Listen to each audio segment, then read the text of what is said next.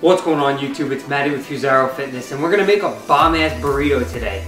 I could tell by all the Instagram posts, Twitter, Facebook, all that that most people are a big fan of Chipotle. I personally love Chipotle, but we don't have one very close to where I live. There is a Moe's Southwest Grill, but it just doesn't compare. And I don't feel like leaving the house right now, so what I'm gonna do is make a burrito at home, take you through the steps on how I make it. It's very easy. I'm going to be using some leftover ground beef. I'll give you all the macros and everything, so let's get started showing you the ingredients and cooking. All right, all right, let's get started. We're gonna start off with a flour tortilla. Yes, flour, not whole wheat. We have some black beans, some salsa, whatever you would like, fat-free sour cream, some leftover lean ground beef that's 93.7, scallions, fat-free shredded cheddar cheese, and a side of asparagus because you need them greens. Just for the convenience and to save some time in this video, what I did was portion everything out and weigh it on the scale beforehand so you didn't have to watch me do that. Let's get cooking! Alright, so we're gonna get started by putting the stove to around a medium heat, spraying the pan down with some fat-free non-stick cooking spray, and placing the asparagus down when the pan heats up.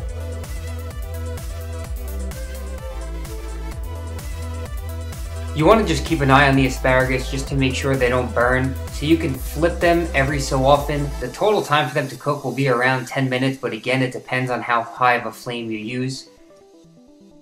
Oh, yeah. So what I personally like to do is spray them down with some I can't believe it's not butter spray while they're cooking and then season them up with some fresh ground black pepper and some sea salt. You don't need to get any fancy Himalayan shit. It's just what I chose to use. But any kind of spices and seasonings you can add now while they're still cooking and almost finished. Alright, next up we're going to add the black beans and the ground beef to the pan on a low heat. It's already cooked, this is leftovers, so we're just trying to heat it up so it's warm inside the burrito.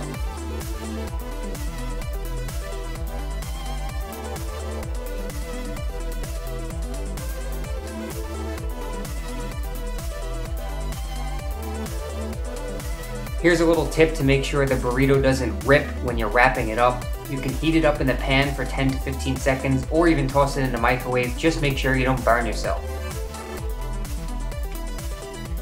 Now we're gonna just place all the ingredients inside the burrito wrap and you can add any additional sauces or spices that you want. I'm using a chipotle sauce, a chipotle salsa, some fat-free sour cream, and then just topping it off with the fat-free shredded cheddar cheese that I showed you earlier in the video. And that's about it. Again, feel free to add whatever you like to it. And then comes the hard part. Alright, so I've gotten a lot better at rolling up burritos. I will say that using a white flour tortilla does work a lot better than using a whole wheat or a whole grain tortilla, and it doesn't rip as easily. And that's pretty much it. You got yourself a bomb-ass burrito. Alright, so that's pretty much the recipe. Like I said, it was extremely simple. The best part about burritos is that you can add whatever you want or take away whatever you want. So you can make a burrito that's 200 calories, or you can make one that's 2,000 calories. Adding guacamole, which I love, but I'm saving some fats for later on today. You can add rice into it. You can add more black beans. You could do chicken. You could do beef. You could do steak. Anything you could think of, you could put into a wrap and add or take away whatever you want. Uh, the macros for this, I kept it, you know, fairly low. I didn't want to go too crazy with it, but we're looking at around 600 calories. And with that is 15 grams of fat, around 62 grams of carbs, and around 55 grams of protein. I'll throw that in the description box below, as well as on the screen for you. I hope you enjoyed this video. If you do, Please like the video, show your support. I appreciate it as always. If you want more cooking videos, you know, I have fun doing this. My food's getting cold though, so I'm gonna go eat the food. Again, thank you very much. I appreciate it. And until next time, I'll catch you in the next video.